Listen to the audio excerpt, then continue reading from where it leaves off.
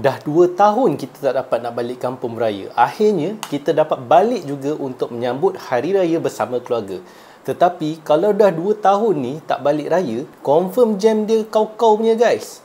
Ha, so Zik nak kongsikan kepada korang aksesori-aksesori yang penting untuk korang ada di dalam kereta korang semasa balik kampung dan kalau tiba-tiba stuck dekat jam.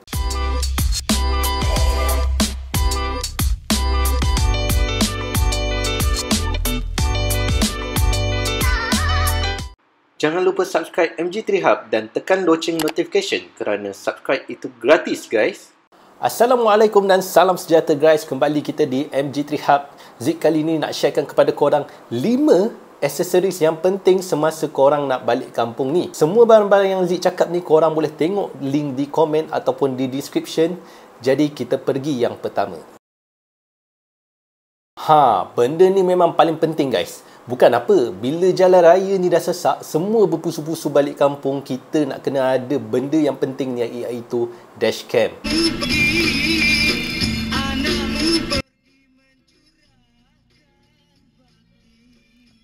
Ha, dashcam ni dikira benda yang wajib lah korang perlu di dalam kereta disebabkan kita tak tahu apa yang akan berlaku bila kita jalan jauh. Ha, manalah tahu takut ada malakun mana yang sengaja cari pasal nak pau duit raya kat korang. Lepas tu korang pula yang rugi. Ha, dia yang untung sebab korang tak ada bukti nak tunjuk kat polis ataupun nak tunjuk dekat pihak berkuasa lah. Dashcam ni Zip boleh suggest brand yang terbaik adalah 70 my DDP AI ataupun iRoad. Ha, Zik akan sharekan kepada korang harga yang mampu milik. Yang first, korang boleh dapatkan dashcam depan sahaja harga RM160 jenama 70 mi. Ha, yang ni Zik pun pakai dekat kereta MyV Zik. Dah 2 tahun, tak ada apa-apa, memang cun. Tak ada rosak apa, panas pun elok. Ha, korang boleh try lah yang ni. Tak perlu SD card, 140 degree field of view, 1296 pixel dan boleh buat parking mode jika korang pakai hardware kick. Kalau korang nak dashcam depan dan belakang pula, ha, Zik boleh suggestkan kepada korang iaitu tu 70 my A500S ha, dengan harga yang bernilai RM359 korang tak perlu SD card. Ada built-in GPS dan juga ADAS lepas tu 1944 pixel ha, 140 degree field of view dan boleh buat parking mode juga. Ha, kalau korang ada hardware kit lah. Dan kita ada lagi satu iaitu jenama DDP AI Z40 berharga RM499 ini mahal sikit disebabkan dia ada sense reality function. Ha, apa itu sense reality function? Ha, korang boleh tengok dia macam Iron Man punya style. Ha, kalau korang tengok dekat luar mana yang ada share kan dia punya uh, dashcam tengok macam weh interface dia menarik betul cantik betul ni jenis apa uh, inilah dia brand DDP AI guys jadi dia boleh tahu speed kereta depan dan tepi map jalan cerun ataupun bukit dan selainnya. Ha, yang ini cuma hanya ada pada dekat spek yang ada GPS. Ha, jadi RM499 ni ialah version yang ada GPS guys. Ha, spek lebih kurang sama je dengan 70 my A500S ha, tetapi function dia lebih. Okey, untuk ni Zik rasa memang agak penting juga untuk driver dan juga yang berkeluarga. Ha, kalau dah berkeluarga tu dapat anak yang lasak tak boleh duduk diam dalam kereta, memang boleh buat pening kepala dekat driver kat depan. Ha, jadi bila beli Android player ni, ha, bolehlah nak biar anak tu tengok ataupun kata-katanya lain. Ha, mana tahu isteri pun boleh tengok drama tujuh hari mencintaiku yang ketiga kalau terlepas pukul tujuh tu tanpa tidur dalam kereta. Ha, tak adalah suami nanti bila drive ngantuk. Untuk Android player, Zik akan sharekan kepada korang brand yang telah disertified oleh MCMC. Zik tak nak kongsikan yang murah yang tak ada sertifikat ha, ataupun certified. Takut korang kena tipu nanti beli 4GB RAM dapat yang sebetulnya 2GB RAM. Ha, dalam Android tulis 4GB RAM. Ha, tetapi bila kita test capacity yang sebetulnya 2GB RAM sahaja. Ha, Zik pernah kena tau. Ha, bug ni Zik akan buat video yang lain. Zik rekomenkan korang untuk beli Soundstream ataupun Mohawk.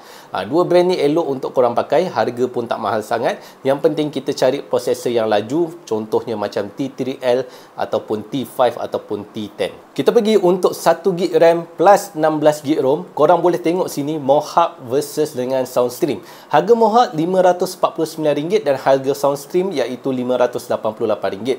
Dua-dua pakai T3L processor, Soundstream pakai IPS panel tetapi Mohawk pakai QLED screen. Ha, jadi Mohawk menang di sini. Ha, dua-dua ada EQ yang biasa. Beli Mohawk dapat free sekali reverse camera ha, tetapi Soundstream tak dapat. Ini pun menang pada Mohawk. Tetapi Soundstream ada deal korang boleh beli dashcam dengan harga RM1 saja bila korang beli Android player. Ha, jadi yang ni ada pros and cons lah. Kalau korang yang pentingkan dashcam sekali dengan Android player, korang boleh ambil yang Soundstream. Ha, kalau korang yang macam dah ada dashcam, korang boleh ambil yang Mohawk ni. Dan disclaimer, deal RM RM1 bila korang beli Android player Soundstream ni tak akan ada sampai bila-bila guys. Dia akan ada promo je. Ha, promo tu Zik tak tahu bila dia keluar tapi sekarang ni ada lagi promo tu. Ha, jadi kalau korang yang tengah tengok ni fikir-fikir nak beli Android player baik beli cepat-cepat guys sebelum deal tu habis. Okay next adalah untuk 2GB RAM plus 32GB ROM. Ha, harga Mohawk iaitu RM999 dan juga harga Soundstream iaitu RM1088. Jadi beza dia tak banyak. Apa beza dia? Dua-dua still pakai T3L processor. Uh, Soundstream pakai Full HD screen. Mohawk masih pakai QLED screen. Uh, jadi Mohawk rasanya lebih kat sini sebab dia pakai QLED. Uh, dua-dua ada EQ dan juga built-in DSP. Uh, beli Mohawk dapat free sekali uh, reverse camera tapi beli Soundstream tak dapat. Ha, cumanya Soundstream macam biasa ada deal juga untuk RM RM1 bila bila korang tambah RM RM1 dapat dashcam free. Okey, untuk spek yang tinggi iaitu 4GB RAM tambah 64GB ROM. Ha, harga Mohawk iaitu RM1599 dan harga Soundstream iaitu RM1588. Ha, Soundstream murah di sini. Ha, jadi kita tengok apa perbezaan dia. Mohawk pakai TS10 processor. Ha, yang ni TS10 ni saya tak pasti berapa core. Korang boleh search lah kat Google apa itu TS10. Ha, dan manakala Soundstream pakai 4 plus 4 core Cortex A53. Ha, jadi dia pakai 8 core lah. Ha, dan lebih kurang lah macam i8 lah, tak adalah i8 pun. Okay. dua-dua pakai QLED screen. Ha, lepas tu dua-dua juga ada EQ dan juga built-in DSP ha, Mohawk tak support 360 kamera untuk jenis ni dan tak ada built-in SIM. Ha, manakala Soundstream ada dua-dua ni. Jadi yang version ni Zik cakap Soundstream menang lah sebab dia boleh support benda tu. Ha, dan dua-dua ada juga car Apple Play. Ha, yang mana korang pakai iPhone korang boleh beli yang ni Ha, beli Mohawk dapat free sekali macam biasa reverse camera Soundstream tak dapat. Tapi bila korang add deal RM RM1 korang akan dapat dashcam free. Jadi kalau korang tengok yang support car Apple Play tu macam mahal lah Z 1500 tu tak ada sangat budget untuk 1500 tu. Tak apa Z ada lagi satu solution untuk korang yang mampu milik korang boleh beli brand Ionon Ha, tapi Zik tak pasti ya ada certified ataupun tak sebab dia berasal daripada Hong Kong.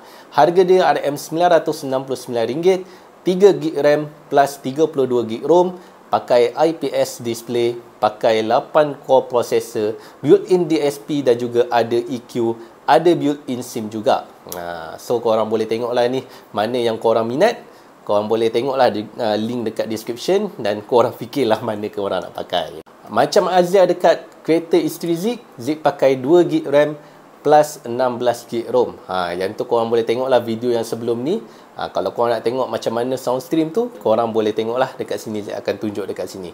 Ha, lepas ni korang boleh fikirlah mana yang korang nak beli untuk Android player. Apa benda ni Zik? Ha, Kak Minta tak cukup info lagi ke? Okey, yang ni Zik nak sharekan kepada korang kenapa penting. Ha, untuk kereta moden, kalau korang perasan water temp hanya ada simbol merah dan juga simbol biru. Ha, sebenarnya benda ni tak cukup untuk korang nak betul-betul monitor water temp kita tu macam mana. Ha, sebabnya kalau kita ada Magician OBD, kita boleh tengok nombor water temp tu dengan tepat. Ha, dia naik ataupun dia boleh turun. Ha, so, kita boleh tengoklah dan detect dengan cepat yang radiator kita akan ada problem ke tak.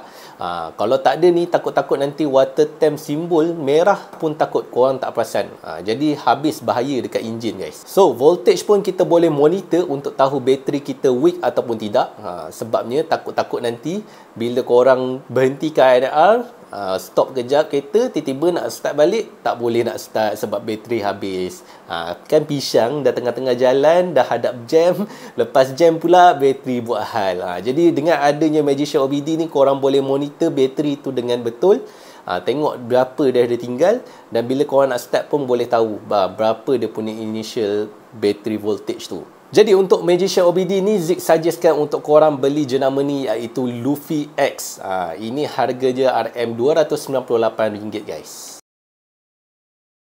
Ini adalah satu aksesoris yang penting juga guys. Ha, sebabnya sebelum nak jalan jauh, bolehlah korang monitor tayar korang dulu kat sini.